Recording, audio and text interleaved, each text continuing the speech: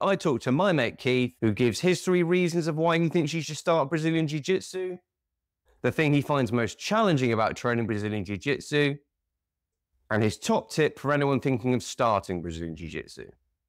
Keith, we've been training Jiu Jitsu for how long? Six years? Keith definitely started a couple of years after me. And as you can see from his file, he's on the, the fast track. He's on the management fast track. Yeah, about six hours a week, though, mate.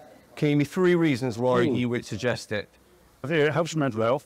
It gives you a place to go to. In what way does it help your mental health? When you do, uh, done, uh, get rid of any energy and uh, Yeah. emotions that you get being the dad Yeah. at home with all the ups and downs that you've got. I think it gives you some of that. It gives you fitness, obviously, is massive. Yeah. And uh, mental health, fitness, and I'd say progression in your life with your family and your work and all that kind of stuff. You, you are, it, for you, it's a family affair. Your wife and your son both do jiu-jitsu, don't they? Yeah. Which is awesome. And how are they getting on? Seb's doing good. He's six years in, and we started at four, so he's now 10. You see, I remember little Seb when you and he used to roll, and he used to run on and jump on your back Yeah, like, yeah. during a roll. Yeah. So he's literally grown up watching you roll. Yeah, well, in fact, I, I watched him roll to start with. He started first. Really? He came here, yeah, when he turned four years old, we wanted to give him something so he could look after himself. And when he gets older, when he's in his teens and that. And this seemed like the right thing. So once he started, six months later, I started. And after sitting on the sidelines and watching and thinking this looks like fun. You see, I got that wrong. I thought it was you, then Stacey, then Sam. So it was actually Seb, then you, then Stacey. Yeah. If you ever see the photos of all three of us with our gis and belts on, Seb's always at the top of the line. Because he okay. says he's the highest belt because he's been with the Oh, longest. nice. And in fairness, he's got more belts than I have. How do you find it helps with family life? Oh, having missus do it as well. Well, firstly, it makes it a lot easier to get in here. So you don't have to, oh, you're not allowed to go to jiu-jitsu tonight business. Uh, We all want to go to So she's got the bug as well now. Yeah, another place to sort out our marathon affairs on the mat we did self-defense last week or the week before. We got the boxing gloves out. Well, oh, the missus. who- So you're a four stripe purple belt. Yeah. So you're dangerously close to becoming the higher echelons of jiu-jitsu. Indeed, yeah. But I can't obviously use all my plumber's strength and man strength from missus. I have Yes, to because I know you as the friendliest and- plumber in East Sussex, but yeah. just that would be a tip. Don't ever Don't shortchange. pay. Pay your invoices on time.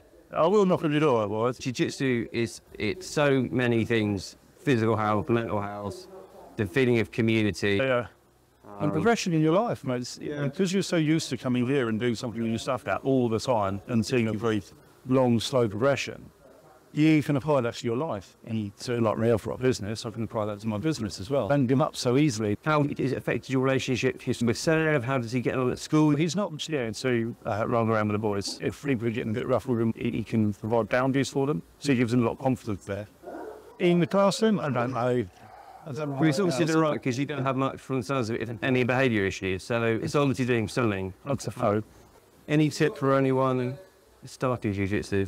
Yeah, uh, come, turn up, get through the front door, and every day that you come, if you don't not sure where to go, you don't know, you keep coming up with excuses and whatever, you just get in front, What's the most challenging thing about jiu-jitsu? sucking at it, doing like you're all the time, permanently, just always getting beaten by people. Yeah, I get uh, that a whom you expect to uh, be better than you're not, because you are who you are on the particular day and the particular time, And you know that person?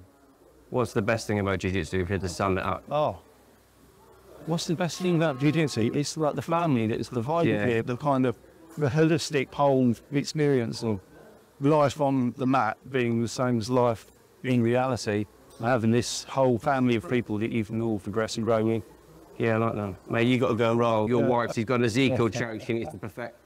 You've awesome torture, Keith. Next time we talk, you're a black belt. Take it easy. BJJ's a game changer, I'm really not capping. I've trained for eight years, spent a lot of that tapping. The one thing I know to be true is BJJ is good for you. If you struggle with your mental health, please follow this directive. BJJ can improve your life, cause it'll improve your perspective. I really hope you got something from this episode. And if you've just started training BJJ, or you're a man or woman who started training BJJ later on in life in your 30s, 40s, or older, I'd love to know your story and how you're getting on. If you'd like to watch the first video in this series, please click this link here. I hope wherever you're in the world, you're okay. Take care.